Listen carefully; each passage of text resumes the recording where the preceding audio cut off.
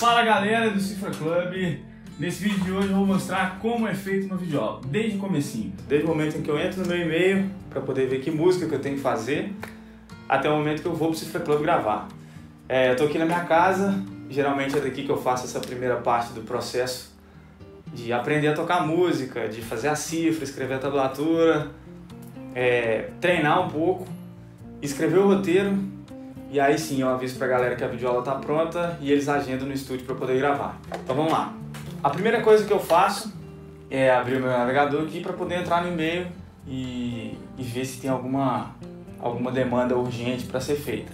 Logo depois, a segunda coisa que eu faço é entrar no Trello, que é uma ferramenta, é um, um espaço que a gente usa para organizar todas as tarefas que a gente precisa de fazer. Então, através do Trello, a equipe consegue ver o que, que cada pessoa está fazendo.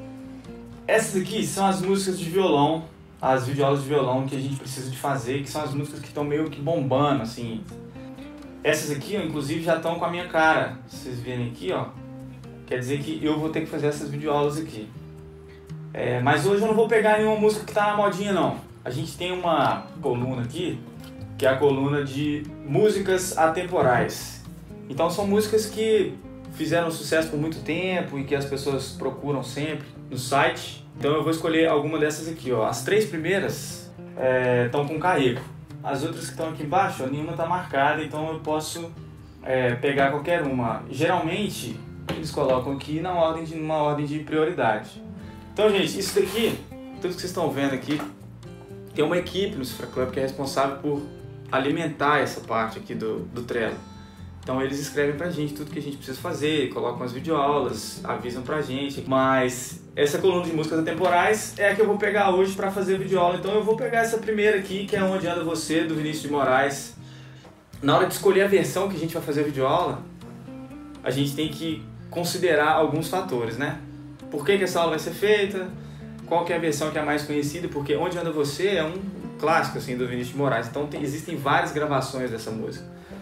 Mas como ela ficou muito em evidência por causa de uma versão de um, de um cantor que foi no The Voice, que é uma versão muito legal por sinal, é, eu acho que é interessante a gente pegar a versão do cantor que fez a música lá no, no, no The Voice, porque provavelmente é a, é a versão que está mais conhecida no momento e é a, a versão que as pessoas vão querer tocar. E por falar em saudade, onde anda você, onde andam seus olhos? que a gente não vê onde anda esse corpo que me deixou morto de tanto prazer. Então a primeira coisa que eu faço é achar um vídeo da versão da música e aí eu dou uma escutada para ver que, do que, que se trata, né?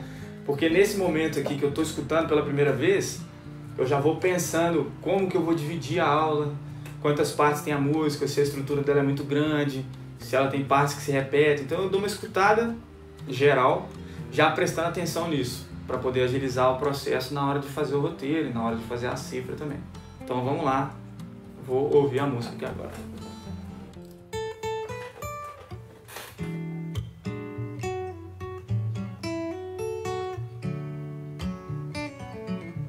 Então eu ouvi a música pela primeira vez aqui, vi que ela não é muito grande, a estrutura dela é, é básica, ele tocou a música uma vez, depois ele repetiu no final, assim, de cara, eu já vi que ele usa um capotraste na segunda casa do violão, então o vídeo ajuda por causa disso. Dá pra ver algumas coisas que ele faz com a mão, então já dá pra saber em que região que ele tá tocando, pra fazer os acordes bem parecidos com o que ele tá fazendo. Aqui o meu próximo passo vai ser pegar a letra da música no site do Letras e colocar num documento que eu tenho, que é um padrãozinho de cifras assim, para ela ficar do tamanho certo e não ultrapassar o limite do vídeo que a gente tem e também do site do Super Club. Então vamos lá, entrar no site do Letras, Ctrl C, Ctrl V. Daí agora eu dou mais uma escutada e já divido a estrutura da música. Coloco introdução, primeira parte, essas coisas que tem para já começar a mapear na minha cabeça as partes que eu vou ter que ensinar e o que, que eu vou ter que aprender. Então eu vou lá de novo.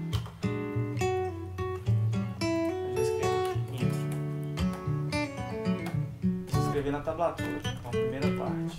Então agora eu já dividi aqui a estrutura da música.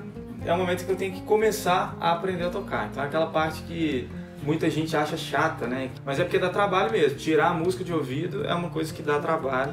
Mas a gente só consegue se a gente pratica, se a gente treina, se a gente se dedica, se a gente tem paciência. Então vamos colocar um capotraste aqui na segunda casa. Vamos lá.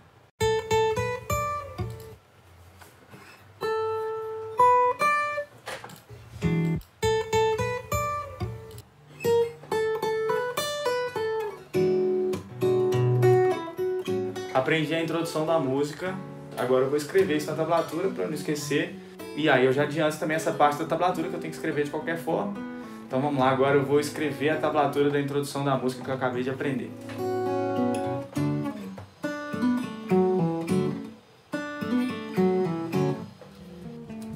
Pronto, escrevi a primeira tablatura da música, que é da introdução, então já está prontinho aqui. E sigo aprendendo a música, agora eu tenho que tirar a primeira parte para poder escrever a tablatura da primeira parte. E por falar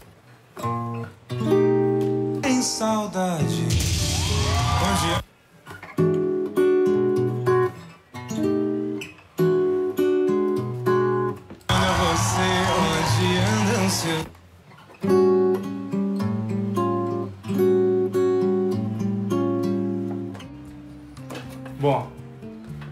então eu ouvi aqui a primeira parte, que eu já saquei mais ou menos aqui os acordes e já vi o que, que ele faz. Então já vou começar a escrever o dedilhado da primeira parte da música.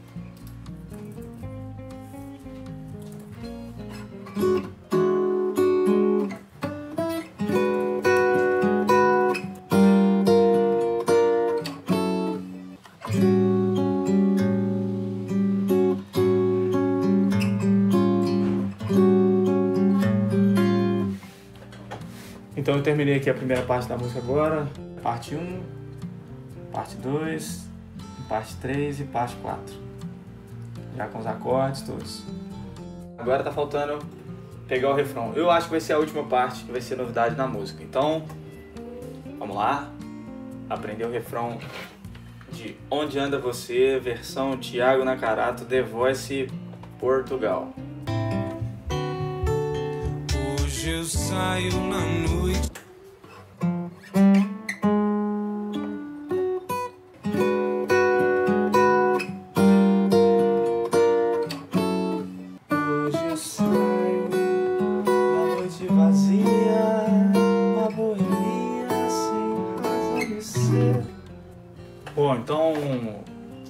Ouvir o refrão aqui, acho que eu consegui identificar os acordes. E no refrão entra a banda inteira aqui no arranjo todo. E o Thiago fica tocando bem livre, assim, então eu vou aproveitar um padrão que ele faz. Se às vezes é, é muito preciosismo a gente tentar tocar igual o cara, sendo que às vezes nem ele consegue tocar igual ele tocou. Quando a gente faz uma apresentação ao vivo assim. E eu acho que é basicamente o que está faltando pra gente, pra eu conseguir terminar a tablatura da música que passar pra cifra e depois mostrar o roteiro. Então, vou escrever agora aqui a tablatura do refrão. Vamos lá. Hoje sai.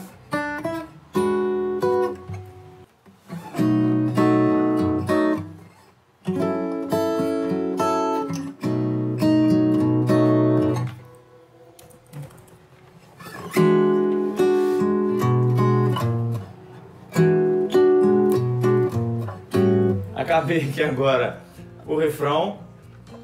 E agora o refrão tá escrito, prontinho. E agora eu vou ouvir o solinho que tem no meio da música, ver se ele é igual da introdução. Eu acho que é parecidaço. Mesma coisa.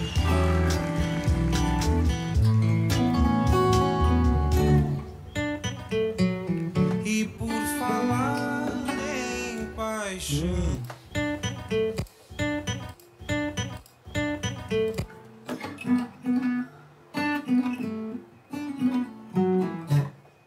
solo é o mesmo da introdução, é a mesma coisa. Só que aqui ele já deu uma esquentada, né? Então tem umas notinhas lá que não deram pra. que elas não soaram, assim, que não deu pra ouvir direito. Então, ouvindo aqui agora, eu vejo que a intenção dele era ter tocado exatamente igual ele tocou aqui na segunda, nessa repetição, só que na introdução. Então eu descobri que tem umas notinhas a mais. Então vou fazer essas duas alterações aqui no, na introdução E aí lá na cifra já vai repetir a introdução, porque é o mesmo solo da introdução, então não vou precisar de escrever a tablatura, outra tablatura. Só arrumar isso daqui, ó.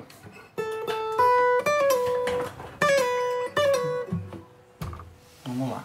Arrumando a tablatura. Pronto. Acho que foi. Agora ficou fácil, falta só o finalzinho da música. Ao invés de voltar com o dedilhado, ele volta fazendo. Hoje sai vazia, uma boemia sem razão de ser.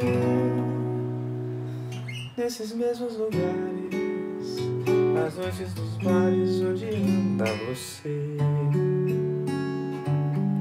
Aí tem outro acorde que eu não peguei ainda, tipo, acho que é esse aqui. Vou ouvir aqui para ver qual que é o acorde certinho. Mas é a única coisa que está faltando agora.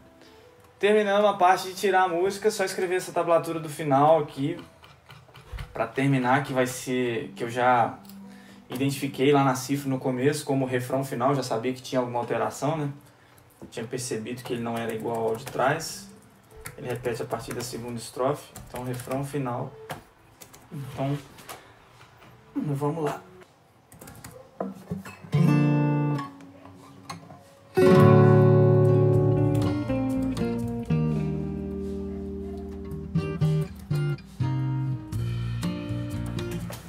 Acabei de passar pela parte mais difícil do processo de fazer videoaula, que é tirar a música e escrever a tablatura exatamente como ela, como o violão é tocado no arranjo. Terminei essa parte da tablatura, então eu gerei um, um documento aqui com todas as tabs.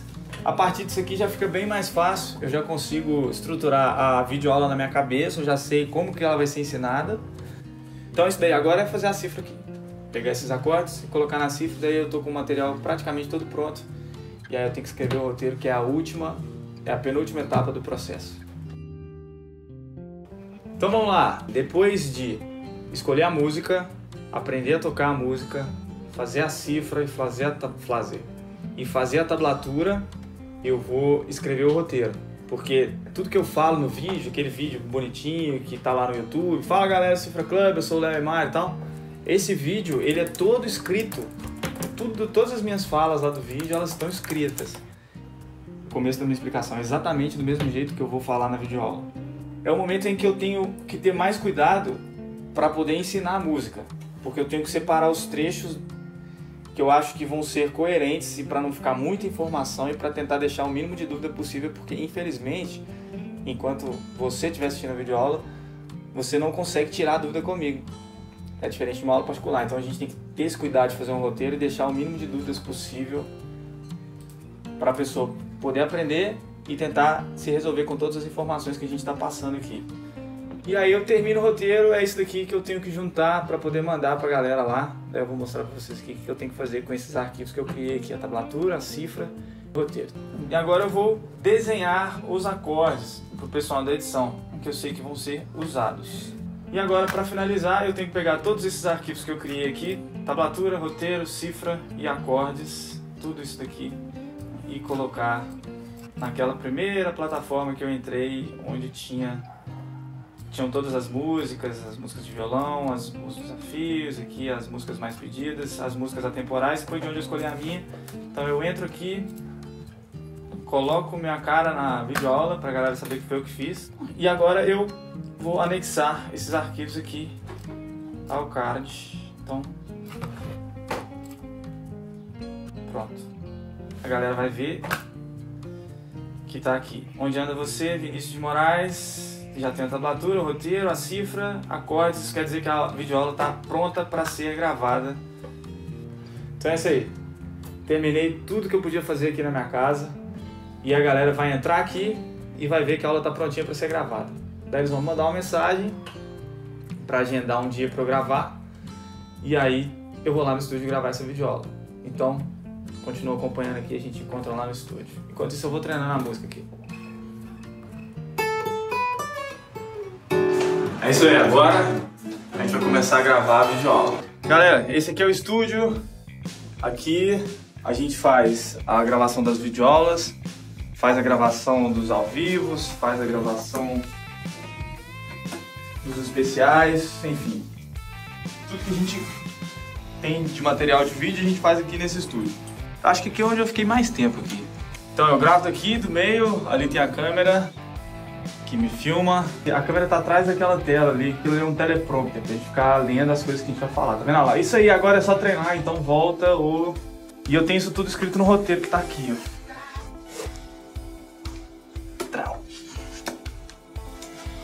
Daí fica essa estante aqui, e aqui eu tenho aquelas coisas todas que eu fiz lá na minha casa, tenho impresso aqui para poder me dar um, um, apoio enquanto eu gravo, entendeu? Porque como a gente grava muitas, muitas músicas assim, eu, por exemplo, essa daqui eu não decorei a música. Eu não treinei para decorar, eu tenho escrito aqui, então eu vou tocar lendo. Aqui eu tenho o roteiro que eu fiz, né, que eu escrevi tudo. É baseado nisso aqui que o Pablo cria o nosso fluxo de gravação em que ele divide tudo que vai ser feito aqui no estúdio. Então, por exemplo, aqui ó, acordes. Tudo que tem escrito acordes, acordes, eu gravo junto. Tudo que tem escrito dedilhado, que é o dedilhado tab 1, dedilhado tab 2, tudo isso eu gravo junto. Porque são câmeras diferentes, câmeras com ângulo diferente. Então, a partir disso aqui, ele sabe quais câmeras que a gente precisa de usar. Daí ele junta tudo, a gente já faz tudo de uma vez para ganhar tempo, para não ficar trocando de uma câmera para outra. É isso daí, então esse aqui é um ambiente que eu vou ficar aqui pelas próximas 10 horas, tô brincando. Agora são 3 e meia, eu acho que 4 e meia eu termino de gravar essa aula aqui, no máximo. Então vamos ver se, se vai dar tempo. A gente vai fazer agora as locuções. É isso aí, agora é só treinar. Então volta o vídeo no começo e toca a música comigo. E para assistir mais aulas e aprender mais músicas é só entrar no Cifra Club. E qualquer dúvida, deixa um comentário aqui. Beleza? Valeu e até a próxima. Aê, acabou! Que vontade, né, velho? O cara grava a despedida e fica aqui, né? É só o, é só o começo. É só o começo. Essa parte é a parte que eu vou apresentar os acordes. Então o Pablo tá aqui com a outra câmera e aí ele vai enquadrar a imagem ali para poder pegar direitinho. Olha lá.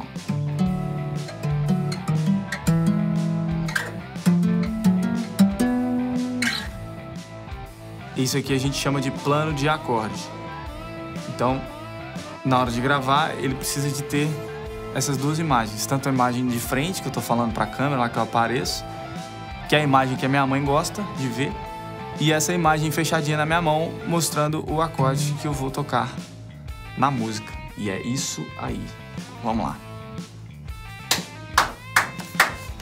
Um, dois, acordes um, take um. E aí pessoal ligado no Cifra Club, eu sou o Léo Eimar e hoje eu vou ensinar a música Onde Anda Você, do Vinícius de Moraes. Bom, essa música é um clássico da música popular brasileira. E ela acabou ficando mais em evidência de um tempo para cá quando um cantor português que se chama Tiago Nakarato cantou essa música numa apresentação do The Voice. Então, como essa versão ficou muito conhecida e foi muito assistida aí na internet, eu me baseei nela para gravar essa videoaula. Vamos lá então, ó. A gente precisa de um capo na segunda casa.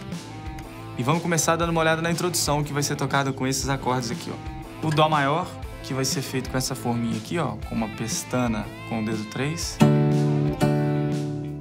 E agora o Pablo tá arrumando a câmera pra gente poder fazer o outro plano, que é o plano de dedilhado.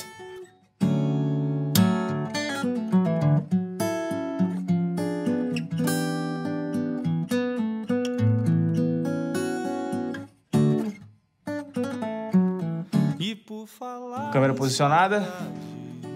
O quadro bonitão, olha lá. Ó. Que a gente não e agora é hora de gravar. Eu vou tocar a introdução uma vez devagar e logo depois eu vou mostrar por partes. E por falar em beleza. Gente, é o seguinte, agora eu vou fazer a gravação da música inteira, a música completa, que é aquele começo da videoaula, né? Quando você entra no site do Cifra Club, dá play lá na videoaula, e aí a gente toca a música inteira com a cifra, a gente toca e canta. Só que de um tempo pra cá a gente começou a fazer isso separado, porque fica mais rápido o processo e o, a qualidade do som também fica legal. Fica mais legal. Então, eu vou gravar aqui agora a música inteira tocando no violão e depois eu vou cantar separado. Então, fraga aí. Fraga ninguém fala, né? Então, saca aí. Fraga é mineiro. Acompanha aí. Eu falei Fraga e falei saca aí, eles me criticaram aqui. Então, é, acompanha aí pra você ver o que, que eu vou fazer aqui agora.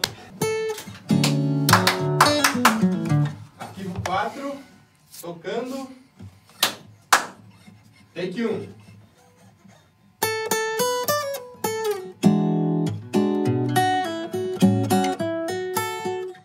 Fala galera, agora é a última etapa da gravação da videoaula. Eu vou cantar a música porque eu só toquei. Já tem um tempo que a gente dividiu essa, essa etapa da gravação, então a gente faz primeiro o violão e depois coloca a voz, a qualidade fica melhor, fica mais fácil, a gente consegue soltar as aulas mais rápido, porque acaba que não precisa treinar tanto, tocar e cantar junto. Facilita, aumentou a qualidade, mas é isso. Então acompanha aí a gravação do vocal. É a última coisa que falta para poder a aula ficar prontinha. Vamos lá, Noel. Pode soltar. Eu não tô ouvindo nada, Noel. Agora eu tô ouvindo, agora eu tô ouvindo. Vocês viram ali o Pablo, gente? Mostra o Pablo lá. Mas agora, olha só, esse aqui sou eu. Aquele ali é o Pablo. Fala aí, Pablo. Deixa eu falar quem são os caras. O Pablo é o cinegrafista, o cara que grava a gente aqui no estúdio. Então ele é o cara que ouve todas as videoaulas que vão ser gravadas aqui e ele tá cansado de ouvir música o dia inteiro. E ali é o Noel, que esse último que a gente mostrou é o responsável pelo áudio. Então tudo que sai no canal é ele que trata o áudio, ele que faz a mixagem, ele que resolve tudo pra gente. E além disso, o cara é um ultra mega power músico, toca vários instrumentos, multi-instrumentista, compositor, ele também faz as trilhas de todos os produtos que a gente faz aqui no, no canal, no Cifra Club, na empresa. Então, ele é o cara, Noel Fernandes. Pode ir, não toda hora eu tô batendo aqui. Pode soltar aí, jovem.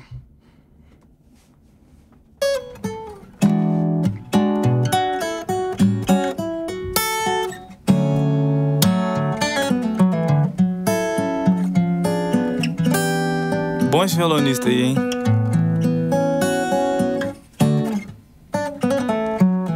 E por falar em saudade, onde anda você, onde andam seus olhos? Que a gente não vê onde anda este corpo. Então é isso daí. Depois de terminar o vocal, eu vou dar uma escutada agora para ver como é que ficou. Geralmente eu canto mais uma vez, porque a segunda sempre sai melhor que a primeira. E é isso daí, fica na mão do Noel, ele vai tratar o áudio, vai resolver tudo, vai mandar pra galera da edição. E aí tem esse cara aqui, que é um dos editores, Humberto. Tem o resto da galera lá dentro, que também faz esse trabalho de colocar todos os elementos, colocar tudo na videoaula.